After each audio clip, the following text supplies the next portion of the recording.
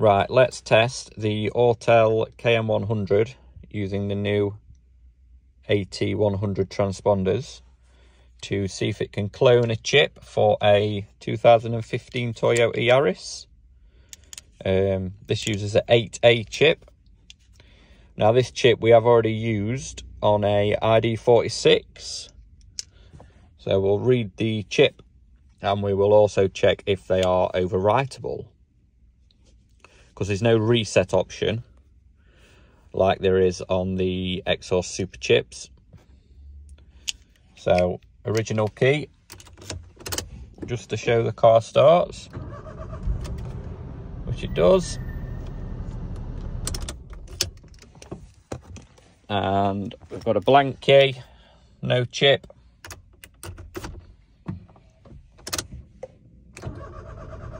Just cranks, no start, because there's no chip inside it. So, what we'll do is put the original in there and read it.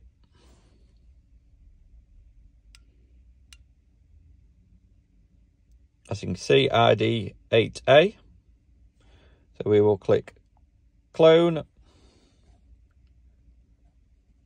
Toyota 8A start. Never tried this, so we'll see what happens. There we go. Now it's asking us to take out. Reading successful. Please continue. Okay, put in the AT100. Press next.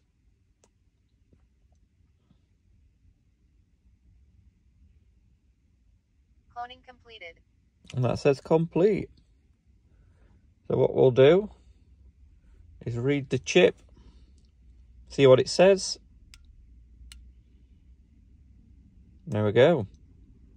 So that has overwritten the data for the ID46 that we cloned. Uh, transponder ID now ends in 5 alpha 1. I'll take that out, just correspond that to the original.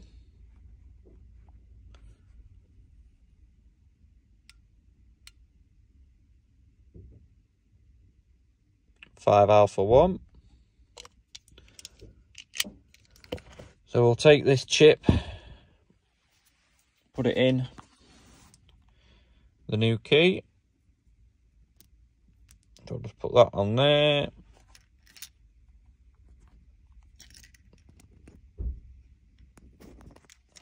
Put that in there.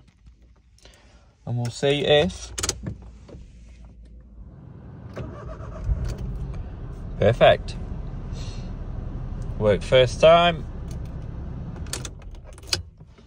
That's the new one with the AT100. And then we'll just confirm the original key still works.